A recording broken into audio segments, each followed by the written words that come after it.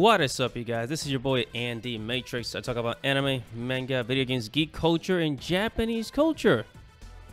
So I got some really cool news. This is this is really really cool. You know, just when we were talking about manga piracy, right, and what Japan can do to you know to actually serve you know its fans much better, I found this. I found this, and I was you know I was like, wow, just just in time. Well, I, I don't know if it's in time, but the point is, this is a manga, a digital manga service called Azuki, and it's coming in June.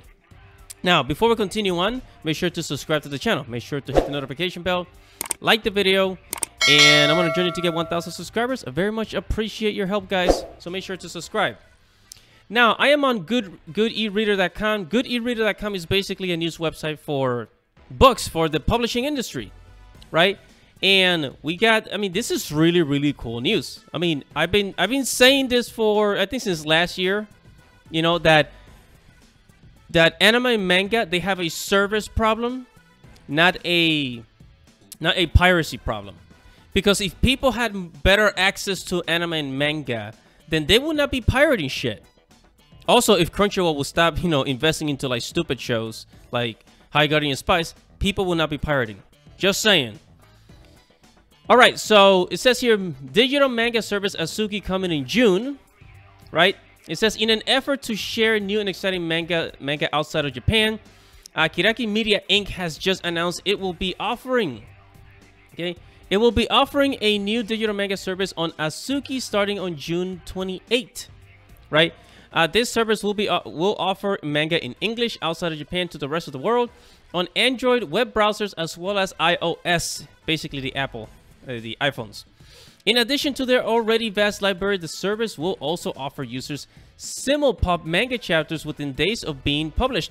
So basically, it's going to be like Viz Media, right? It's like Viz Media. Um, uh, Viz Media is basically bringing, you know, you know, new manga, and you can subscribe for two, you know, basically three dollars a month.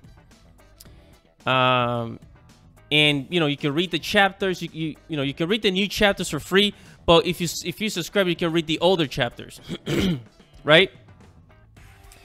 So um yes it's basically to be a, a service like Viz Media. And and it's also to be very cheap. It's only to be $4.99 a month five dollars a month so customers will be able to subscribe and gain access to ad-free manga as well as as well, for registered users, comment comment threads will be available, allowing for user discussion. Oh my god, this is really cool. It's basically how Crunchyroll, how Crunchyroll open up a comment section in the videos.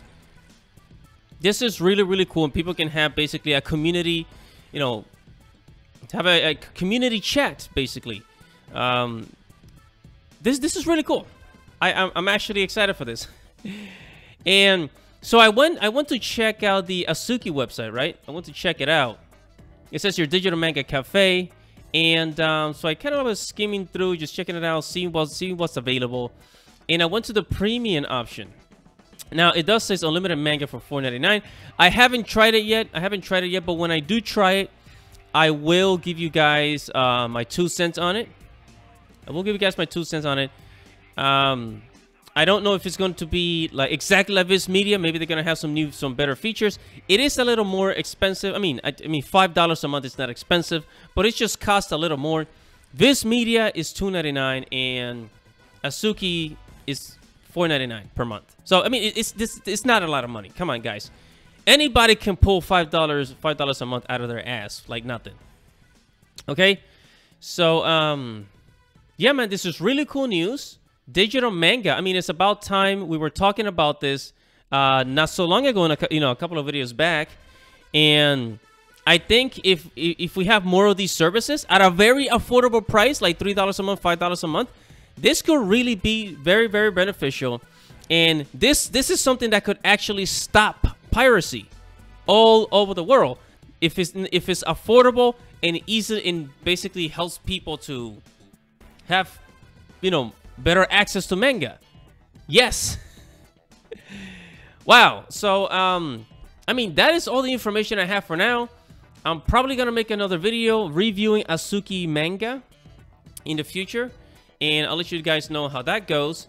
So, man, go and check it out, man. Try it out for yourself, and um, if you do try it, comment below. Let me know how it goes. This is Andy Matrix. Thank you guys for watching. Make sure to subscribe to the channel, hit the notification bell, comment below, like the video, and I'll see you in the next video. This is Andy Matrix. Godspeed.